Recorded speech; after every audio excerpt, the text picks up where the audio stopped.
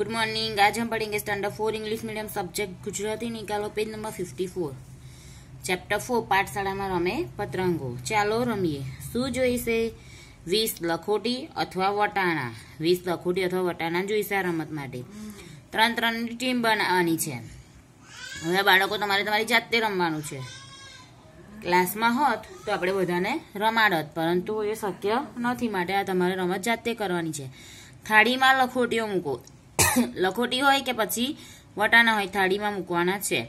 પહેલી બે આંગળીથી લખોટીને પકડીને થાળીમાંથી ડબ્બામાં નાખો. પહેલી બે આંગળી લેવાની. જો અહીં ચિત્રમાં બતાવેલું છે, પહેલી બે આંગળી લેવાની અને થાળીમાંથી ડબ્બામાં નાખવાની છે. કઈ ટીમ પહેલી બધી લખોટી ડબ્બામાં ભરી દેશે તે ટીમના સભ્યોના નામ લખો. હવે તમે જે ટીમ બનાવી હોય, એ ટીમમાંથી કયા ત્રણ જણા પહેલા એ ભરી દે છે, એનું નામ તમારે લખવાનું છે. સમજણ પડી? પછી છે? નેક્સ્ટ વાંચો અને રમો. મેદાન કે ક્લાસરૂમમાં એક વર્તુળ દોર. હવે વર્તુળ દોરવાનું છે. પછી બીજું છે, લટકતો રહે તેમ પોતાના જમણા પગ સાથે રૂમાલ બાંધો. પગ પગ લટ, રૂમાલ લટકતો રહે એ રીતે જમણા પગે બાંધવાનું છે. જો આ પિક્ચરમાં દેખાઈ રહ્યું છે. પછી છે વર્તુળમાં ચાલવાનું, ચાલુ રાખે. વર્તુળમાં ચાલવાનું છે. બીજાના રૂમાલ પર પગ મૂકવાનો પ્રયત્ન કરો. તમારે શું કરવાનું છે? બધાએ ચાલવાનું છે? અને બીજાના પગ રૂમાલ પર પગ મૂકવાનો પ્રયત્ન કરવાનો છે. જેનો રૂમાલ પગના નીચે, પગ નીચે આવી જાય તે આઉટ ગણાશે તમે, તમારે બધાએ ચાલવાનું છે. બીજાનો પગ લટકતો રૂમાલ લટકતો હોય, તે ગમે તેના રૂમાલ પર તમારે પગ મૂકવાનો છે. એ રીતે ટ્રાય કરવાનું છે જેના પર રૂમાલ નીચે, રૂમાલ પર તમારો પગ આવી જાય, એ આઉટ ગણાશે. છેલ્લે સુધી કોણ આઉટ ના થયું? તો તમે બધા રમો છો. એમાં છેલ્લે સુધી કોણ આઉટ ના થયું? એ તમારે જાતે ડિસાઈડ કરવાનું છે. જે ના આઉટ થયું એનું નામ લખવાનું છે. આ રમત માટે વિદ્યાર્થીઓના પાંચ પાંચ જૂથ બનાવવાના છે. તેમની જાતે જ વાંચીને રમવા કહો. આ તમારે તમારી જાતે જ રમવાનું છે. સૂચના મુજબ ન રમે તો જૂથને ફરી વાંચવા કહો. બે ત્રણ દિવસ રમાડો. ક્લાસમાં હતા શક્ય છે અત્યારે તમારે ઘર પર રમત રમવાની છે. અહીંયા ક્વેશ્ચન આપેલા છે, રમવાની મજા આવી? શું કરવાની મજા આવી? તો એ તમે રમે એટલે તમારે આપવાના છે રમત જવાબ. કે રમવાની મજા આવી? એમાં શું કરવાની મજા આવી? પછી બીજો છે, રમત રમવા માટે પહેલા શું કર્યું? પછી શું કર્યું? એ પણ તમારે રમ, કહેવાનું છે.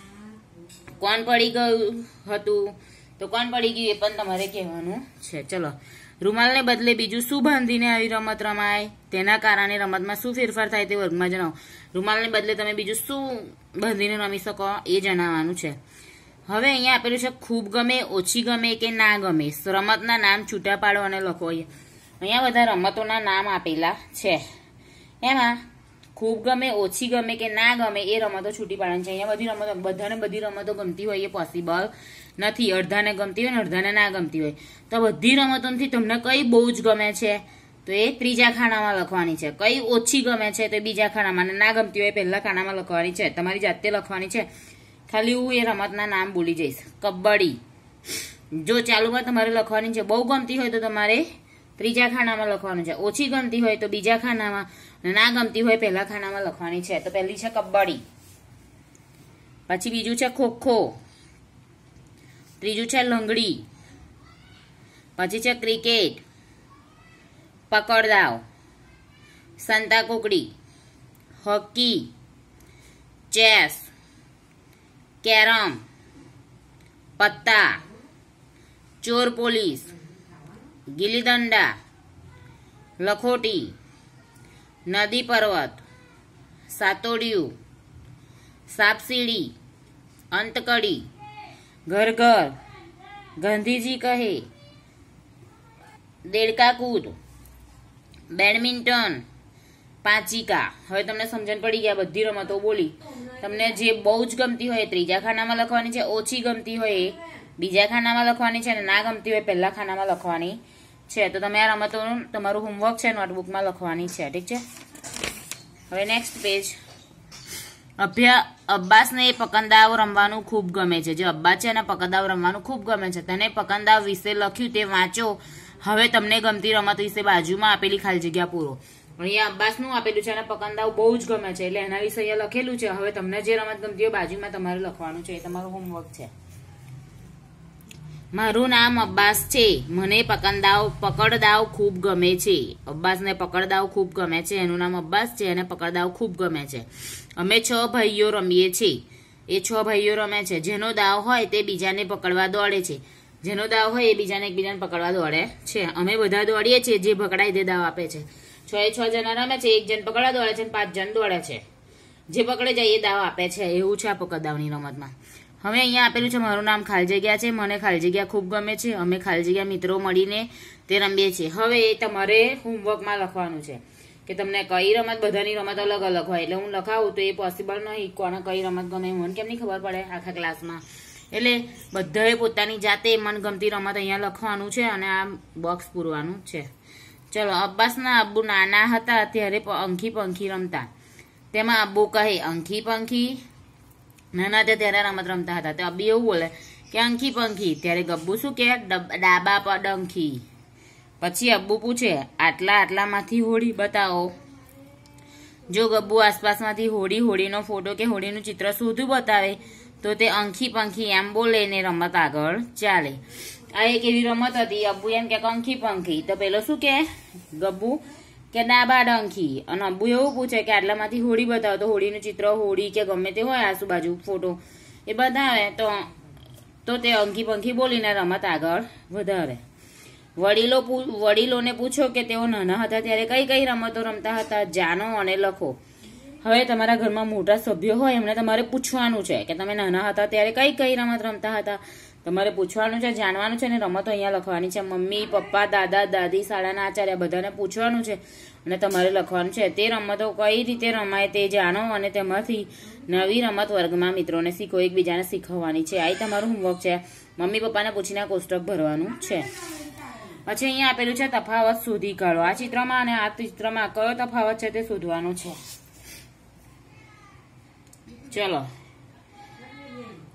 પહેલું છે કે અહીંયા સૂર્ય છે તો અહીંયા સૂર્ય નથી. એક? પછી જો અહીંયા એક પંખી આપેલું છે ને અહીંયા બે પંખી આપેલા છે. બે તફાવત. પછી અહીંયા જો આ બતકની ચાર્જ ઘટતી છે અને આ બતકની ચાર્જ થોડીક જ છે. જોઈ? ના સોરી એવું નથી. બે થયા? હવે આ કમળ છે તો અહીંયા કમળ હાફ છે. જુઓ. ત્રણ, પછી અહીંયા બતક આમનું છે અને અહીંયા બતક આમનું છે. ચાર, પછી અહીંયા ગ્રીન બે આપેલા છે ને અહીંયા ત્રણ આપેલા છે. પાંચ. પછી શું ડિફરન્ટ છે, ચલો જુઓ. અહીંયા વ્હાઈટ ટપકા આપેલા નથી, અહીંયા વ્હાઈટ ટપકા આપેલા છે. છ. અહીંયા માછલી આપેલી છે, અહીંયા માછલી આપેલી નથી. સાત.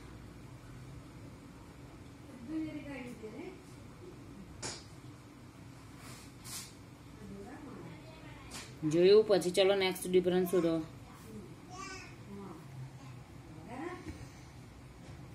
અહીંયા એક જ વાદળ આપેલું છે અહીંયા. બે વાદળ આપેલા છે, જુઓ. આઠ.